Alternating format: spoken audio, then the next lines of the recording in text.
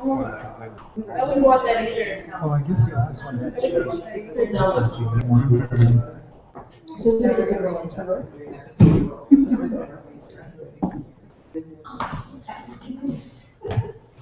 Hello, everybody. Thanks very much for joining us today for uh, the Chamber's lunch box learning for today. I want to first uh, thank our sponsor, Bell, for allowing us to to have this, making us have this happen. Uh, And for you again for taking time out of your day to join us. Today, we, it's our pleasure to host and have with us Heather Watson and Brian Patrick from Naturally Speaking Toastmasters chapter and going to speak to us with a few pointed topics, uh, preparing for presentations, and as well as successful meetings. So with that, not taking too much time, I'll hand it over to Brian and or. Hello, everybody, and welcome. As Said, I am with Naturally Speaking Toastmasters. I'm the current president of our club, and I've been a member of Toastmasters. And personally, I think it's been great to help build and grow and develop my personal uh, public speaking skills. I have with me Brian Patrick, who is our vice president of membership. He has been a member of Toastmasters for so we have a plethora of experience that he's going to be sharing with you today. Just uh, a little information about Naturally Speaking Toastmasters. Uh, we're a Toastmasters club. We meet every Tuesday down at Empress Gardens from 12 to 1. So this lunch hour is kind of our time that we uh, will help each other build and grow our public speaking skills. Toastmasters International has two professional development streams. Everybody knows about the public speaking side of things. There's also leadership skills that Toastmasters teaches. And our agenda today is going to touch on both of those streams. So as Scott had mentioned, we're going to be talking about, um, Brian's going to be talking about preparing to speak. So when you have to do a presentation, whether it's before your team or a sales presentation or to whatever group that you're making a presentation to, uh, how to prepare for that. And then I will spend some time on how to conduct successful meetings because that's the other thing we do a lot of. We meet every week and, and we're all meeting as individuals. Uh, and then those presentations will open up the floor for questions. So without any further delay, I will bring Brian. Brian. Thank you. Thank you very much. Start the timer. There you go, you got 20 minutes, go. Feel like mission impossible. Self-destructive. Five minutes. Thank you all, thank you again for inviting us, inviting us to your lunch and learn. As Heather mentioned, I've been a Toastmaster for a few years, 14 years. Joined first in Barbados, where I used to live.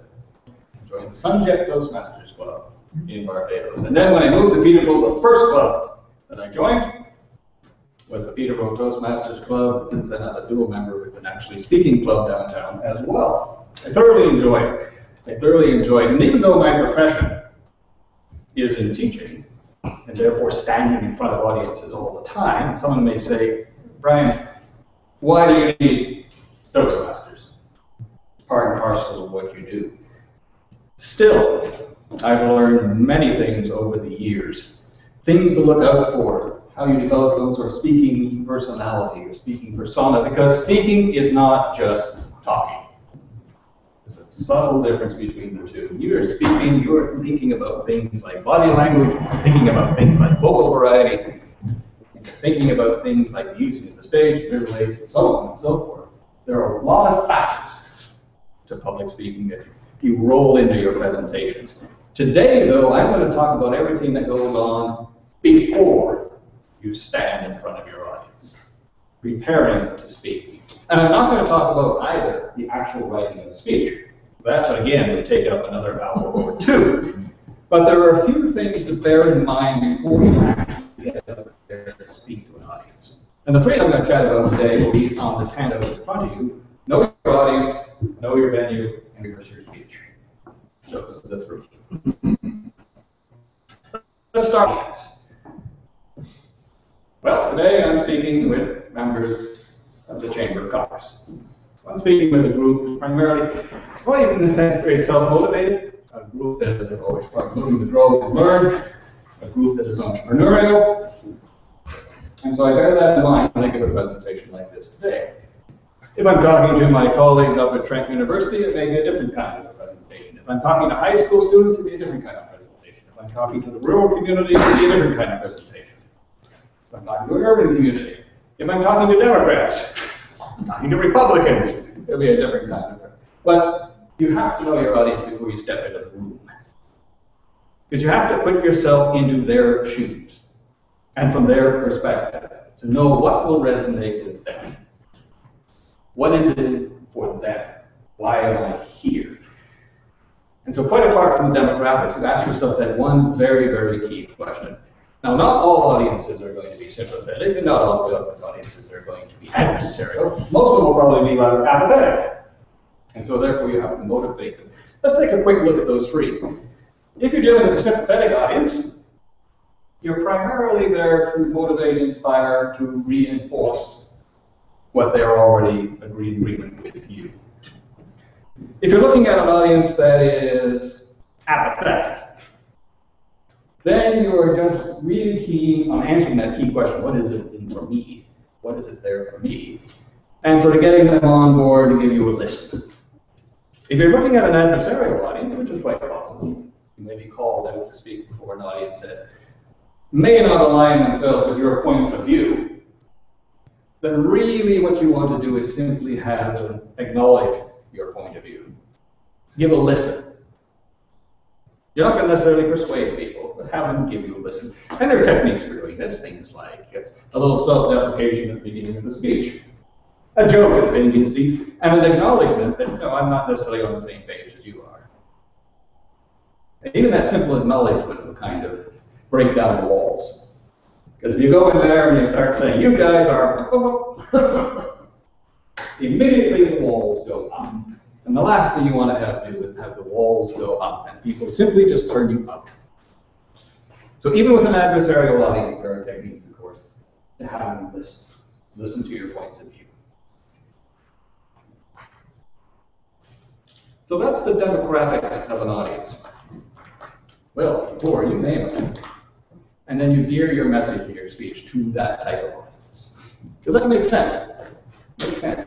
It's something we sometimes tend to overlook. Something we tend to overlook. And this kind of preparation that I'm speaking of today, this kind of preparation that we do in advance, does one thing that helps many, many people, and that is to simply allay their fears. Many people will walk, oh, I hate speaking. I'm fearful of speaking. I'm going to get in front of my audience and they'll know who they are and so on and so forth. Well, find out. If you're being asked to speak, you'll normally be a chair, staff, the chamber of commerce will ask you to speak. The first question you ask is to speak about who will be there. It's a very simple question to ask. Who will be there? Who will be, who will be coming out to listen? Then you can start crafting your speech. But find out, first of all, why are they there?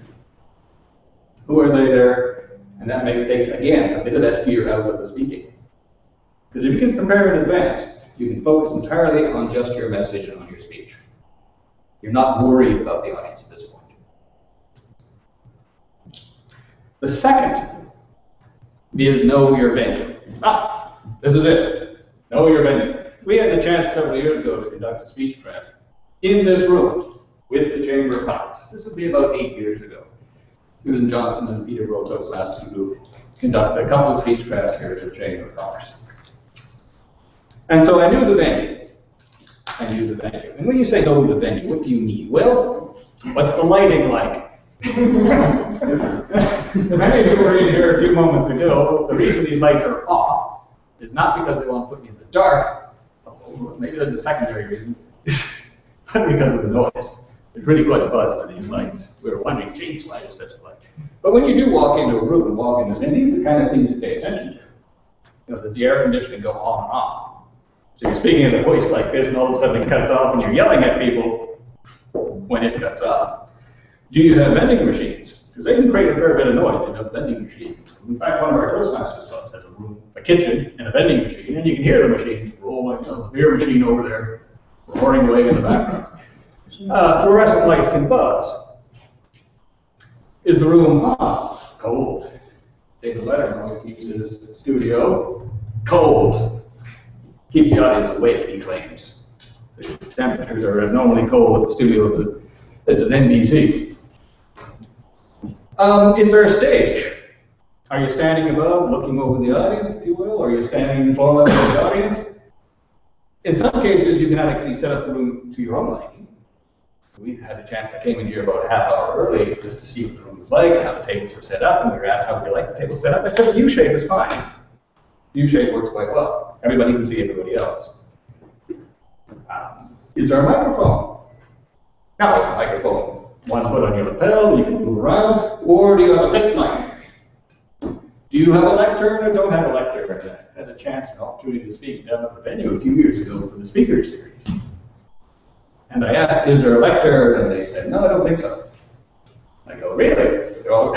So if you're actually bringing a speech, you carry it around with you when there, or do you bring your own lectern, like a little music stand? I sometimes just bring a little music stand and sit up there. Or do I have to memorize the whole speech and keep running off on the cuff? As it turned out, there was a lectern, and that's where the microphone was. So you couldn't move from the lectern, even though you had a pretty large stage. So these things you want to bear in mind. And I'll tell you one thing that threw me off when I went to the venue, and I wasn't aware of, was that there was a television camera right there in front of you. Now, what does that mean? They have lights on these television cameras. They light you up, right? I don't. No, you don't, no. We turn them off. We turn- But when you have the lights in your eyes and you happen to be on stage performing or something, you don't see the audience. They tend to drift in and out of the fog. So I used to, I saw my dad down there in the third row, and then I didn't see my dad in the third row, he drifted out of the fog into the fog. These are the kind of little things that can throw you off. But if you're aware of them in advance, just as you're aware of your audience in advance, then again, you remove some of that, we can say nervousness before you speak. And focus again on your message. And only have to focus on something that might creep up, but you roll with the punches. And to know your venue, the best thing to do is go. And luckily, the, in the case of the venue downtown, they asked, would you like to come and see? See the location a few days in advance. I said, definitely. Definitely want to see it. Where we'll be staying, oh, there's a blue room in the back, or a green room in the back, and the stage is quite high, actually, so the audience is very good down below, but it does, when you think about it, could you walk amongst the audience? No, you can't. And you couldn't even move because of the microphone. So those are some of the issues when you're trying to know your venue. The last of the three points I'll chat about today is to rehearse your speech. Now you say, oh, that's obvious. but- many times this doesn't, doesn't happen. It will get written out. And the person will bring the speech, know, pull it out of their lapel, and you can see the pages coming out, and you can sit them on the stage, and they start reading it to you. And you go, okay. But ideally, you sort of want to stand there, you want to engage your audience, you want to have the eye contact, you want to have vocal variety, you want to have the body language, you want to be able to use the stage as much as you can. And these things you rehearse in advance. Like I said, speaking is not just talking. There are a lot of things that go into it. Now you may say, well, how do you keep track of all of this when you're speaking? Well, a lot of it becomes more natural the more and more times you do it. And the more you rehearse, the more natural it becomes as well. It sounds like a, like a paradox, right? You figure if I just come rolling in here just off the street and I give my talk, oh, very natural, very good. But when you listen to very good speakers, they have rehearsed down to the T. Give you a couple of examples. I was listening to, this is before I was even a Toastmaster, I was listening to a fellow who was vice president of marketing at IBM. And he gave this speech, it was absolutely hilarious, you wouldn't have thought so. Vice president of marketing at IBM. It was absolutely hilarious. It was given at the central bank. And I said, wow, I wish my students could listen to this. And so he said, sure, I'll give the speech. You want me to cut it down? I said, no, no, no, give me exactly the same speech you did before. And so he came over to the university, he gave the speech. I suppose if you ran a tape recorder, remember those, and the two speeches, they would probably run synchronously throughout the entire day. Every joke, every interaction with the audience, every slide, everything was down. He knew how the audience was going to react. He had practiced it, he had rehearsed it before probably hundreds of presentations. He knew exactly the audience was going to react. Same thing with the world champion of public speaking. I was listening to a CD of his. I it in, listened for a while. Next thing you know, I'm at a conference, and oh, there he is. He gave the same speech. word for word for word, every interaction, every joke, he knew how the audience would react and how he would react to the audience. It's amazing. So yes, good speakers do a lot of rehearsal, a lot of practice, because one of the major fears people have with public speaking is, I'll make a fool of myself. You agree? They hate to stand in front, of see, I'm gonna make a fool of myself. Well, to get rid of that, again, in advance, you give your speech. As many people as you can. Wife, your sons, your daughters, your colleagues. You practice it out and ask for feedback. So when you do step in front of an audience for real, you have a pretty good idea what will react, what and what might not be. And again, all of this is done in advance, knowing your audience, knowing your venue, and rehearsing your speech. And by doing those three things, by doing those three things, you can take out a lot of the fear of public speaking. Take a lot of fear of the public speaking because you can focus on, as I mentioned, just the speech itself, just the message. You've taken away a lot of the parameters, the distractions, if you will. You don't get up there and say, oh, darn. There isn't, there isn't a projector? People say, no, no, there isn't a projector. I guess I should have asked. Well, I didn't bring handouts. I thought there was a projector. Or someone rolls into the room with their computer and their laptop and their cables and whatever, and decides to hook things up to the projector at the time the meeting is supposed to start. What happens? It doesn't work. It doesn't work.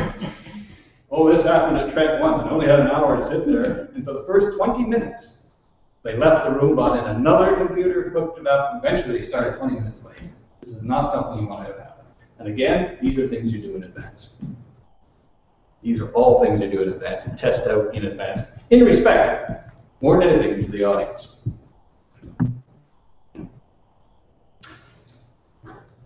Also, I'll just give a couple of considerations I haven't mentioned down here.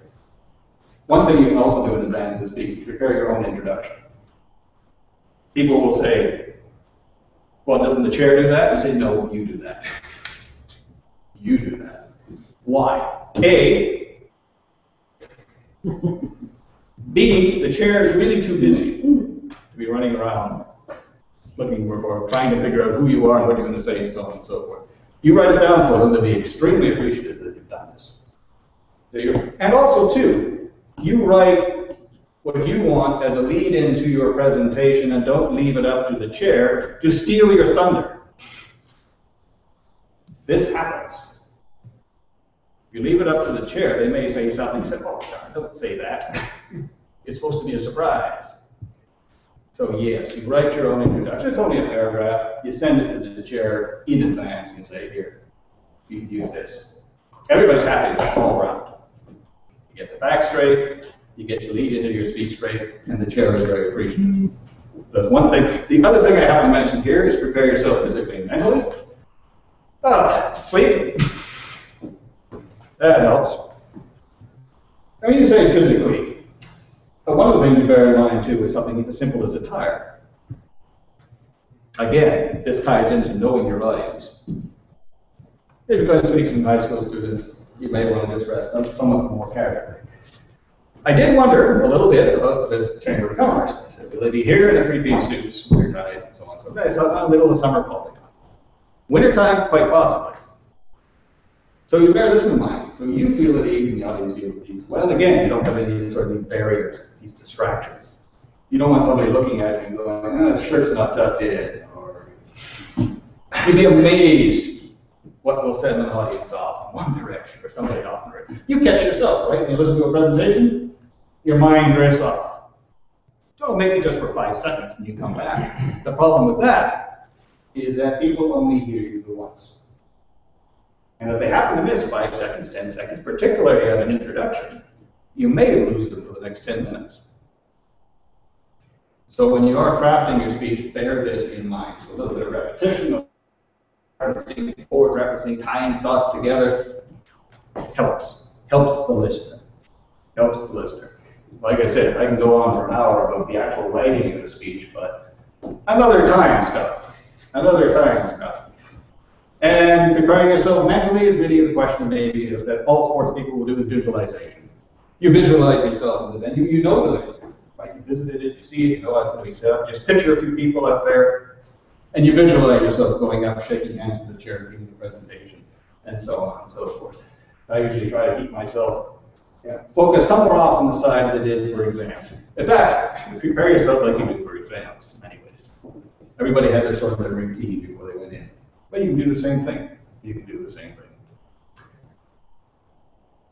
I think now I'd like to turn it over to my colleague, Heather Watson. And Heather, as you mentioned, is our president our Naturally Speaking Toastmasters Club. Works down in the mayor's office as well. Yes, keeps Heather busy. And talking about, about conducting a productive meeting, which is more on now the leadership side of Toastmasters International. So please welcome Heather Watson. Heather.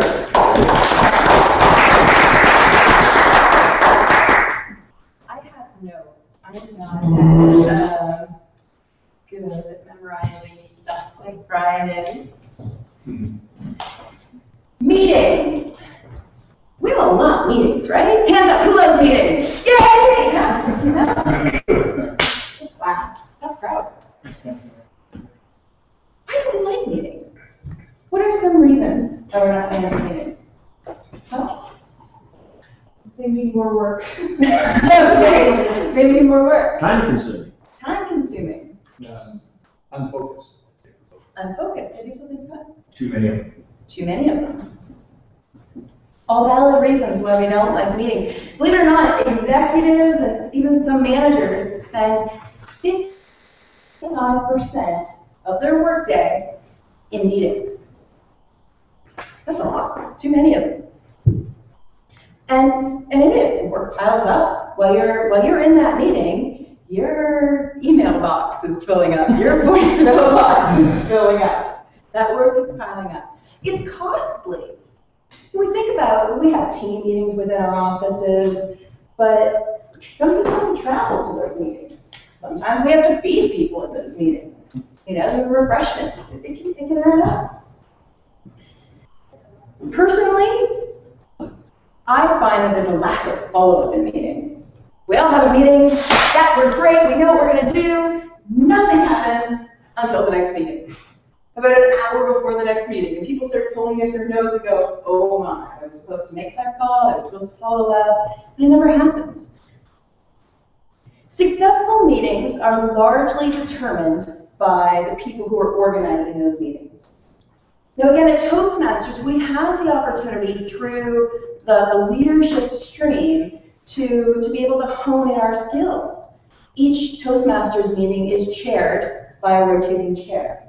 So it gives us an opportunity to practice pulling that meeting together to make sure that we're all singing from the same songbook. So I'm going to share with you some of the techniques that we use at Toastmasters to help us have successful and productive meetings. Mm-hmm. There's five of them. It involves planning, it involves opening the meeting, there is handling the actual meeting once it gets going, concluding the meeting, and a great one is evaluation, and I think we all miss on that point. I'll speak more on that as we roll around, but it's evaluation and feedback is a key component of the Toastmasters experience, whether you're doing public speaking, you get feedback from your peers from the audience, uh, or if you're chairing a meeting, you get feedback from, from the audience as to how that went. And, and that evaluation is what helps you grow and improve and become better at chairing meetings or better at public speaking. So meeting planning. You think, I gotta have a meeting. Okay, why? What is the purpose of the meeting? When you're planning your meeting, you should be able to clearly state the reason why you want to get bodies in a room, on a conference call, or over a Skype or GoToMeeting, however you're doing it. You need to be able to say, this is why we're doing it. What are some reasons why people meet? Why do I meet? Why do we meet? To discuss issues? Budgets, Pardon me? budgets, Budgets? Update each other. update each other. What about training? Share that kind of information. Resolve conflict, solve problems, get reactions. You know, you want to pitch a new idea and get people's, get people's feedback on that. Receive reports, make decisions. These are all kind of reasons. So when you're planning a meeting, you need to be able to say, we are meeting to action to our new product launch, or we are meeting to train the team on a new process. One sentence needs to be very clear when you're meeting. Once you state that, stop your planning process right there and ask yourself, do we need to have a meeting? Right? It's kind of that check and balance to make sure that you're on track.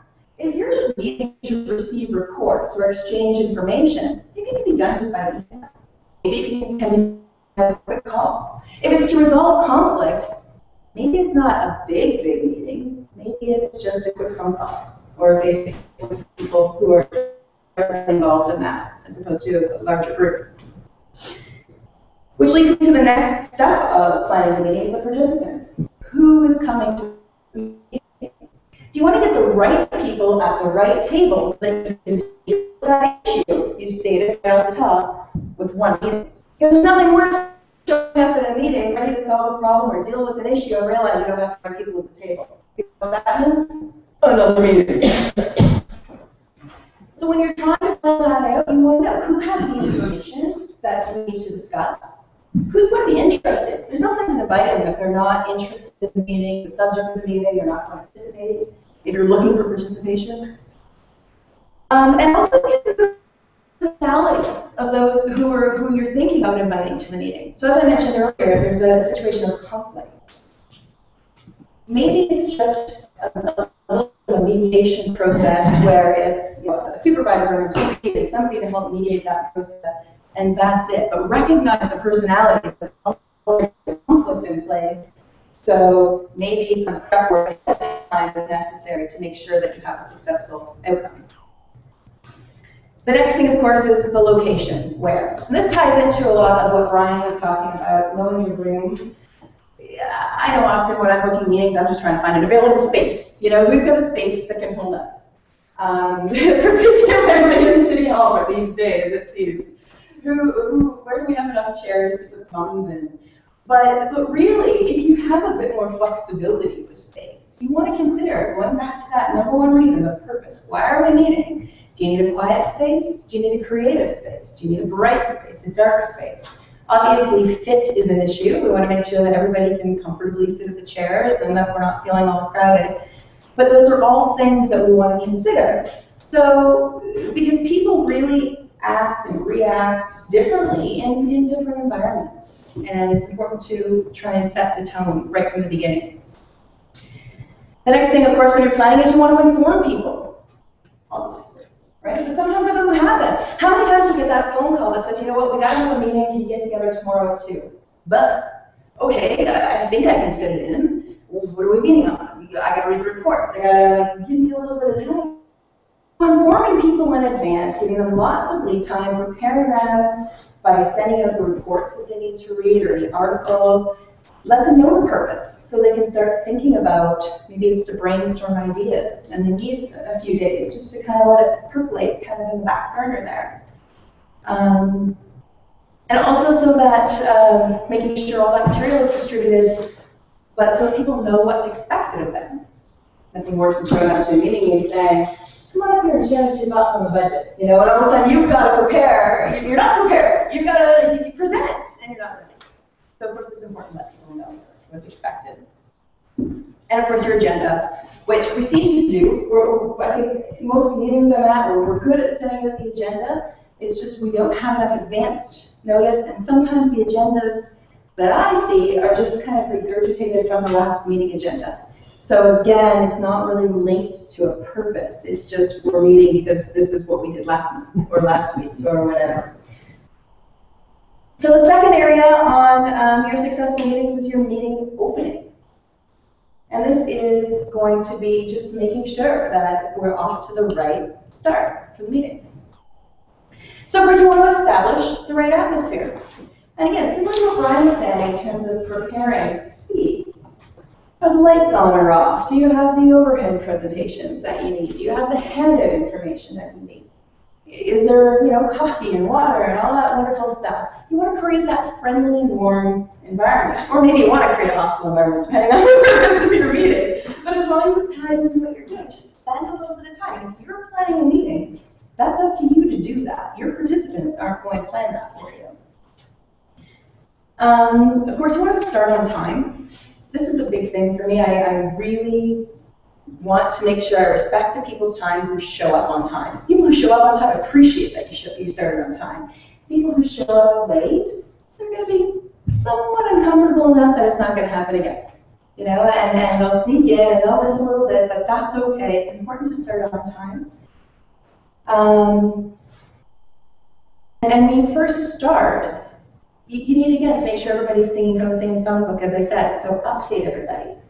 Take a minute to say, okay, the last time we met, or we discussed, or these are the things that led to the reason why we're meeting today. This is the purpose of our meeting, and this is what I hope to achieve from our meeting.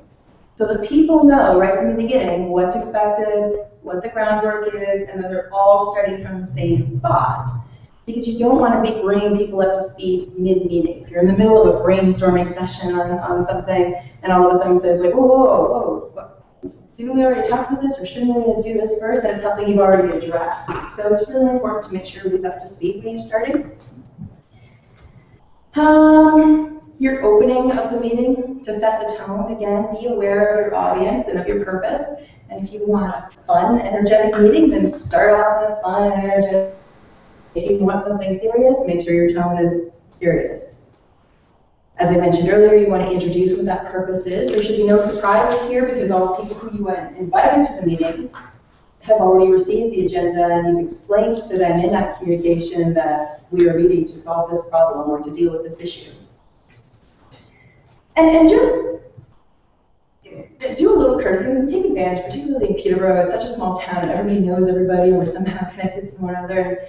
Maybe not so much if you're within your within your work situation, but if you're bringing in outside people together, take a minute to not only welcome them, but make sure everybody knows one another. Because there's that kind of awkwardness where you're sitting beside somebody and you know them, you're sharing ideas, and you just want to help break the ice because things will flow so much better. People will feel less inhibited to share. The other thing when you're opening that meeting is you want to um, kind of set the ground rules for how the meeting will proceed.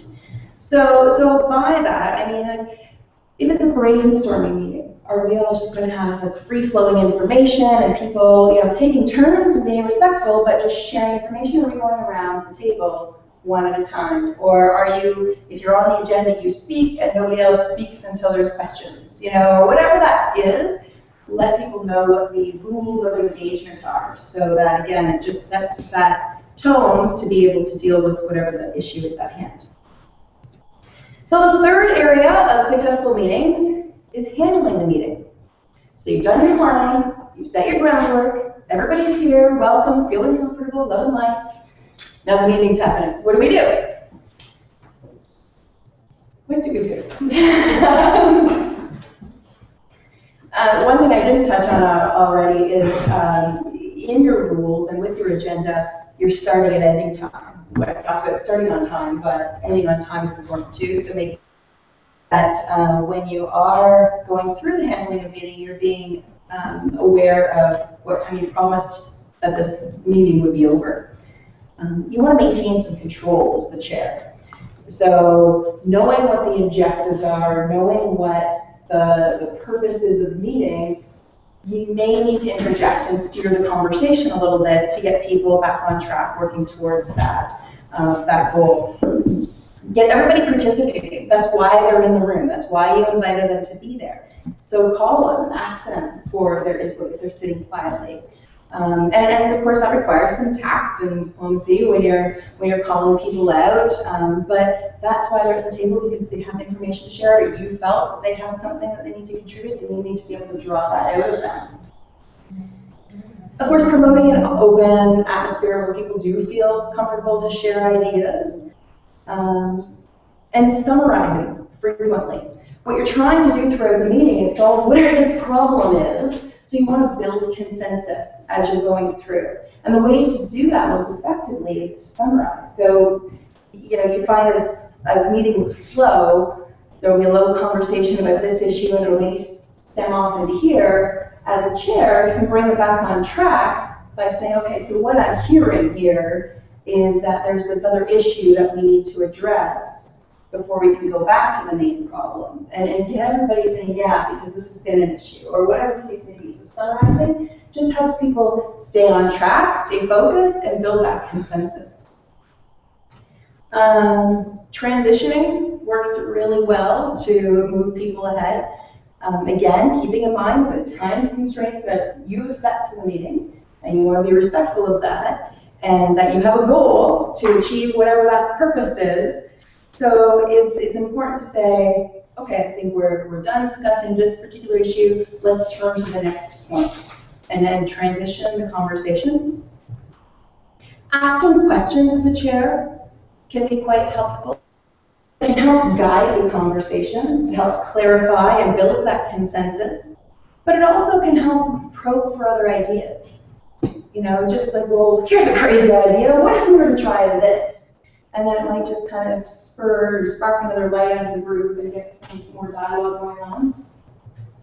Um, and, and, and it's good, as I think I said this already, to involve others. So asking, you know, what do you think, Carol, about this particular idea?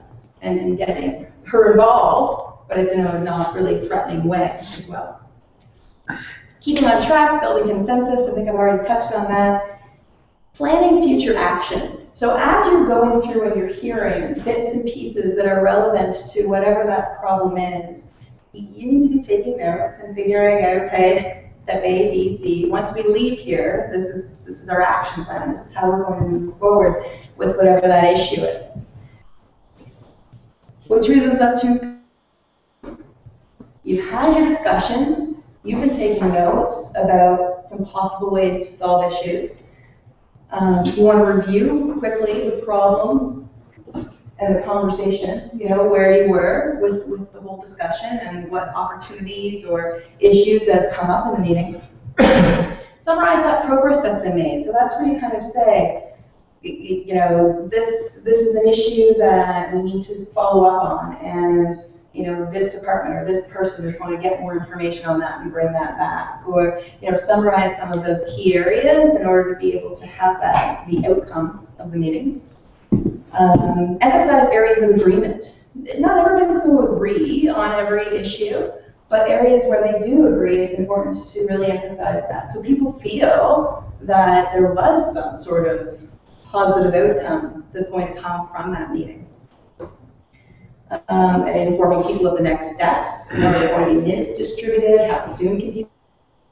Will there be another meeting called? Will there be kind of subcommittees formed if that's the case? But let people know what, what's expected. Maybe it was just a one-time ad hoc kind of thing, and you know you're just going to wrap it up and thank everybody for their time and let people know that they'll see a report down the road or whatever the case may be. If it requires more more meetings, let people know that as well. And of course, thank people for their time. Um, and then moving on to evaluation. I've got two minutes to talk about evaluation. So as I said, Toastmasters International, we love, love, love feedback. And evaluation is really important as a chair when you're chairing a meeting to, to know whether or not you were successful in reaching your outcome. So how do you get that evaluation? Spend a minute or two after your meeting. Don't worry about the actual objectives of the meeting and all that kind of stuff, the work from the meeting, but evaluate your own performance. Ask yourself, you know, did, did I engage everybody? Was it well planned? Was the room, you know, just kind of go over all those um, touch points that I've already spoke of and ask yourself if it worked or what didn't work. Why not? You can also invite an observer into the meeting, somebody who's just going to sit and watch and, and give you some sort of feedback on the flow. Um, and of course, ask the participants for feedback. I have an evaluation form, which I can share with you. And I love your feedback. If any of you want to take some time and fill it out um, on both Brian and my presentations. Um, but this is also a great sample evaluation form that you can use when you're evaluating whether or not your, your meeting that you conducted uh, was successful and uh, identify some areas for improvement. And I think, with a minute and a half to spare, I am done. So at this point, Brian, I will let you take the floor. Take the floor. Take the floor and lead us end some um, Q and A. Oh, oh, or, Sure. yeah. Oh, thank you. I was gonna grab somebody's lunch break. It's gone. Oh, God. Must be the- As Heather mentioned at the very beginning, Toastmasters International had two streams. The speaking communication stream, which I think most people are probably familiar with or recognize Toastmasters for. And the other one being the leadership stream. Interestingly enough, the motto of Toastmasters International is where leaders are made. And that was a, that generated a bit of controversy, that didn't say anything about speaking at all, just said where leaders are made. But I think being a good leader requires being a good communicator so it's implicit in the motto. In order to communicate your ideas well to those you work with, in order to motivate those you work with, to persuade those you work with, to present information to those you work with, are all required communication and good communication skills. And so where leaders are made, that's the motto, but of course it implicitly assumes, subsumes, that you have good communication skills. And I think it's still important, even today, I know we have our, we have our texting and we have our emails. But when you think about oral communication remains what I always call the most intimate and powerful form of communication, the face-to-face, even so, and even today. The other tools can augment th- those communication skills and keep people connected, but still, people will gather when important things are to be discussed, important things are being decided on in meetings that Heather has presented today. Are there questions with regard to anything with respect to either the leadership side or the communication side? I know we've touched upon a few things like, you know, writing speeches, but we didn't get into it. But you may still have a question regarding something like this.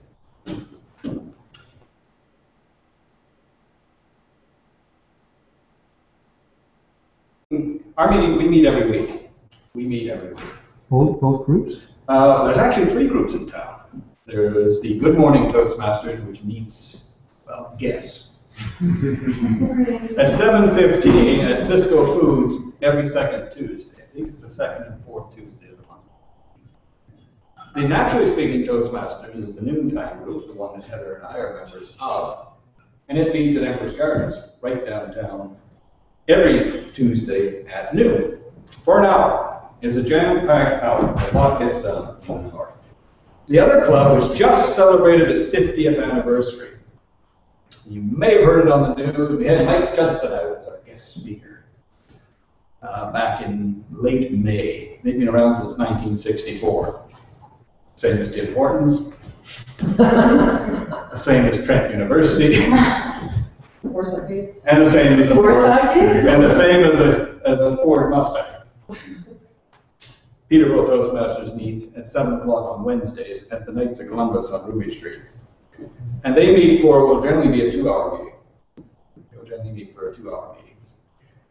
And so every week, for two of those clubs, they meet every week, and for the other one, they meet just every two weeks, every second week. A second, Brian. I think, Bob, if, if I understood your question, you meant like in terms of the leadership and the communication side of Toastmasters? No, no, just, he he answered it correctly. Okay, perfect.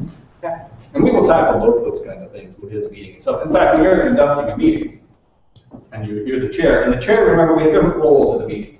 They alternate around. We have a chair, we have a general evaluator, we have evaluators, we have speakers, we have a table topics master, and so on and so forth. That rotates every week. And so you'll have the opportunity to chair meeting, to put together the agenda, to get sure everybody is there, to fill any, any spots that happen to become vacant because someone can't make it, so on and so forth. Yeah, you get the chance to be chair. You get the chance to speak whenever you wish, because it is a self-paced organization. You, you go and you have a chance to go, you will speak when you wish to have a chance to speak, and you'll, you'll fulfill roles when you have the opportunity to come out fulfill those roles. So yes, it is self-paced. We have manuals to go along with it, so that's the educational part of it. There's the evaluation end of it. You, every speech gets feedback um, from both all the members of the club. Will a little sheet of paper and they'll write back their feedback. Plus, you'll get a formal evaluation from one of the Toastmasters who will stand up for two or three minutes and give their own evaluation, their own impressions of your speech. Bear it in mind, it's the personal impressions of the evaluator. And that is, to me, the most challenging skill there is. Speaking is in your hands, right? You write the speech, you rehearse the speech, you choose the topic, so on and so on. You meet the objectives of the speech and the manual.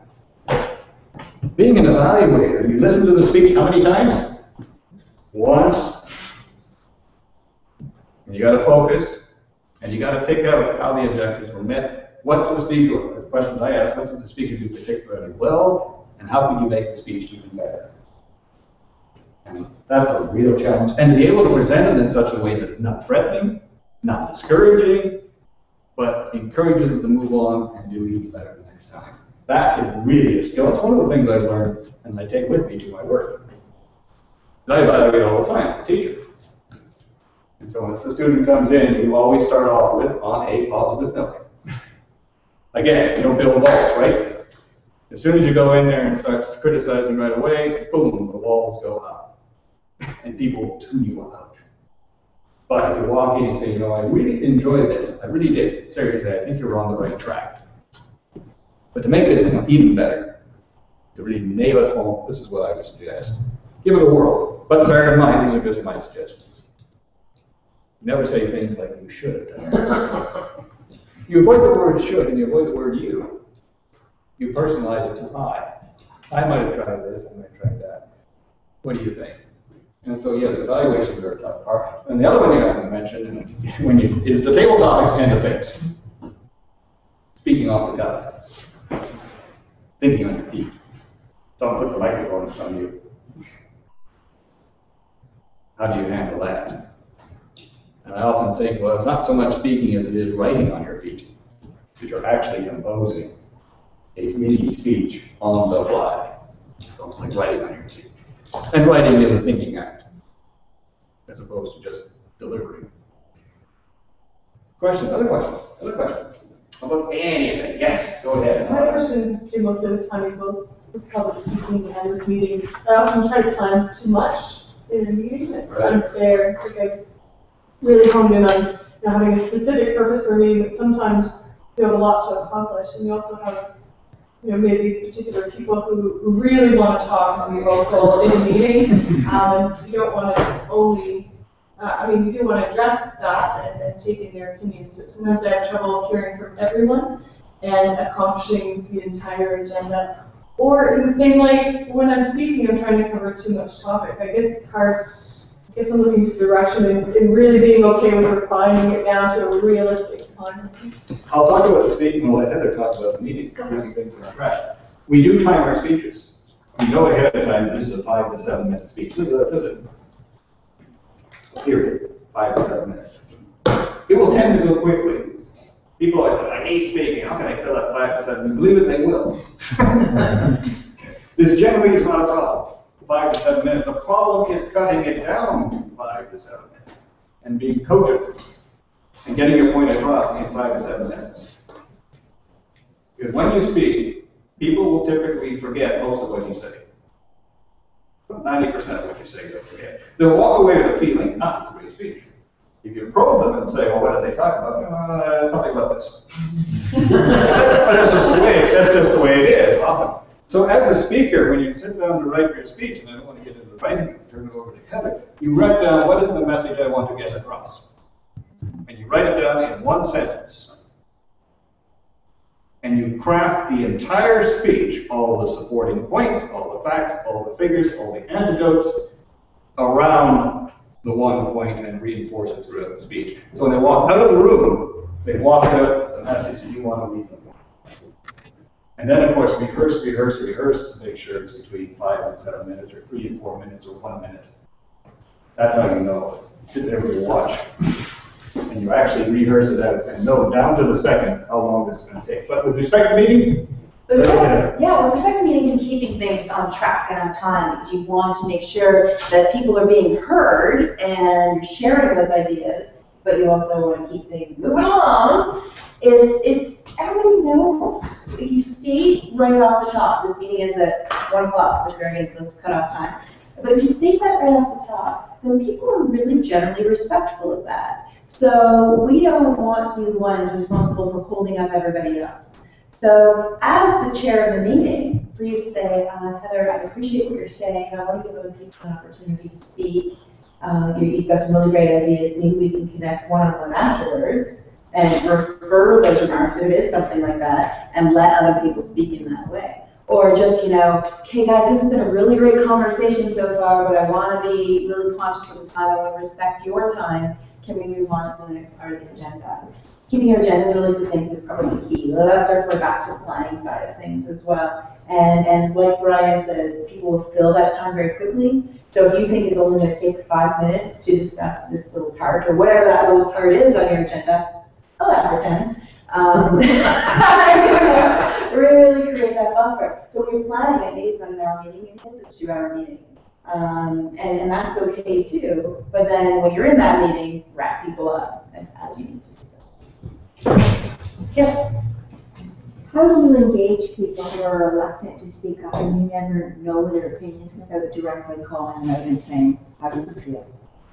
Well, I mean, directly calling them out is probably the most effective way to do that. Um, also, when, and we've all been in this, in a room before where people are going around the table, right? So you're not, you're calling them out directly, but they know that their turn is between this person and this person because we're starting to go around. You know, and you sit there and think, oh my gosh, what am I gonna say? Oh my God, I'm gonna talk next, you know?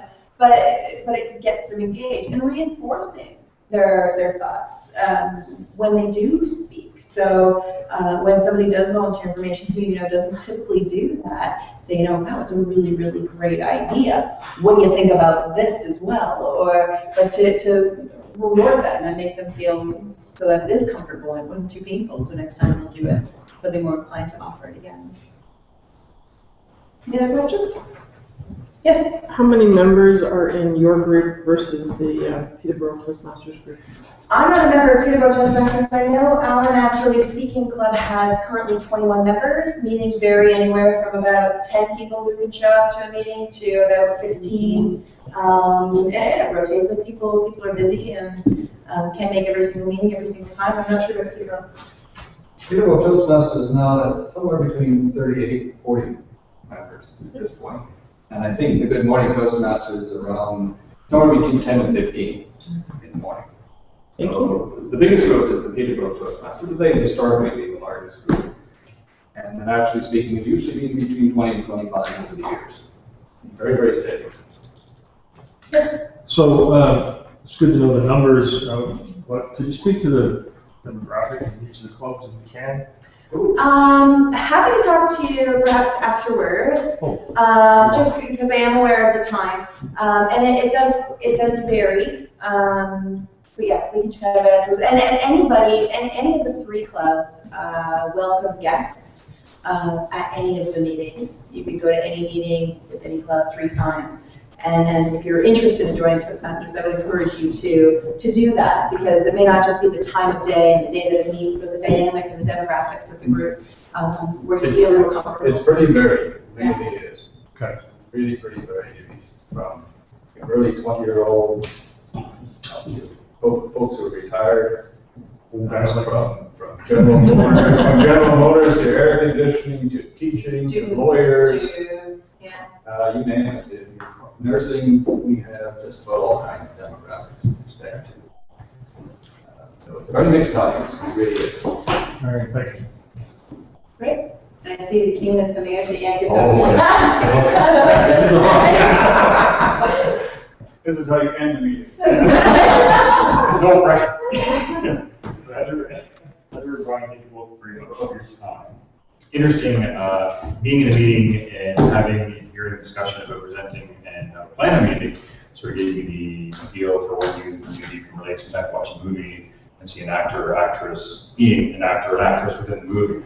You know, interesting experience, um, certainly can comment firsthand in terms of organizing this meeting, how fluid and seamless that process was, from my perspective, from yourselves. It involved the asking of a few quick questions, all the setup you talked about, um, didn't feel exhaustive. And I want to make that comment because the process can be seamless, can be simplified, and yet I think you know, um, cover all here, you need to plan these things and obviously deliver effectively, which we'll all agree this was a very effective delivery. So thank you both very much.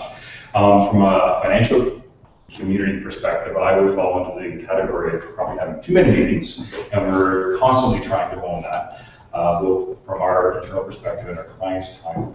Um, but interestingly enough, despite that fact, reflecting on this, there's a number of things we don't do very well consistently, and I don't do very well consistently. Uh, I think we, it's something we just absolutely miss, even though we have so much of that. Maybe you can relate to that as well. But certainly here today, one of the things I did not do is let you know that my name is Scott Mancini, and a board member of the Chamber. So this is why I'm here talking to you. Um, on behalf of the Chamber, I want to thank all of you for your time today and for coming out. Uh, also, I want to recognize our sponsor, Bell, with it, which this would not be possible. Um, a couple of quick things in terms of chamber agenda. Hopefully, uh, you've been before, but this is your first lunchbox learning meeting. Um, they're increasingly getting, uh, more and more uh, poignant in terms of our members want to see, survey members actively. And I think the topic here today is, is a good example of that.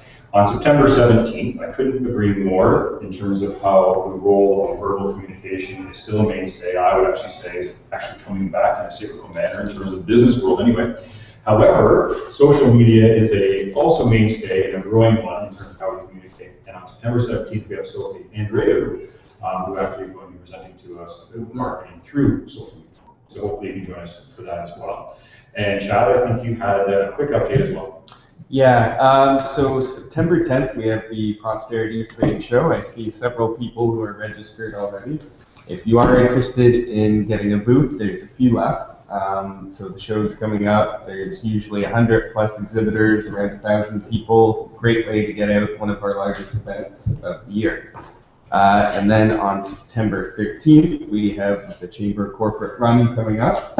Um, PUC is here today. They are a 10K race sponsor. So um, it's a new event for us, uh, and I, I think it's going to be a lot of fun. I know there's several people who have some sore uh, calves training up for it right now. So get your shoes ready, get a team together, and register and commit run with us. Thanks. Thanks Chad. Thank you all again very much. Have a great day.